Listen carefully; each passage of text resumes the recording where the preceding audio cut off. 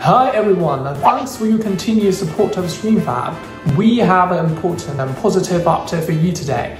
In response to recent community feedback about the Amazon experience, we've rolled out a full suite of optimizations of a new version, 6.2.4.6, which was released on July 17th. The software is now running smoothly and is fully stable.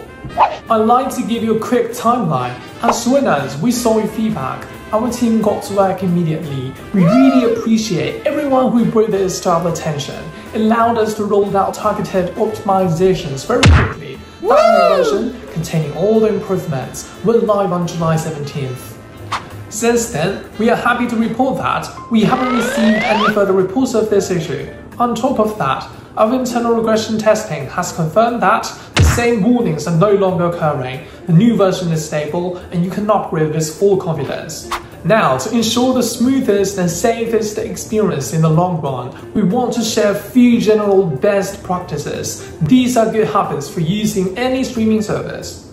First, maintain a reasonable pace. Download in smaller batches and with intervals. If you want to watch three episodes today, queue those three up. Once they're down, give it a rest. Download the next batch another day. You should absolutely avoid queuing up dozens of episodes or hundreds of gigabytes at once.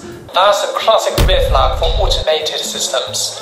Second, stay active on official platform. Occasionally, watch a video or two directly on the Amazon app or website. This helps establish a healthy and authentic activity log for your account, showing you are a regular consumer. Third, we strongly advise against using VPN for this. Amazon's VPN detection is very sophisticated. Unless you are an expert with dedicated clean IP, your safest bet is to turn off your VPN while downloading from Amazon. And finally, keep your account and your content private. For your own security, we always recommend that you never share your account. Here's how to make sure you are on the latest version. It's very simple. Open StreamFab, go to the menu and select About. Just confirm that your version number is 6.2.4.6 or higher. If not, click on Check for updates right there in the menu to get the latest version.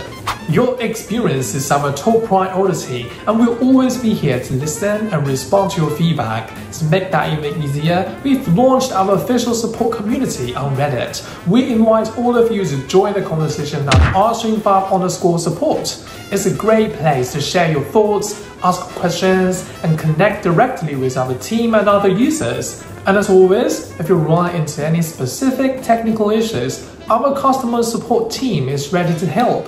Thanks again for being part of the StreamFab community. See you next time.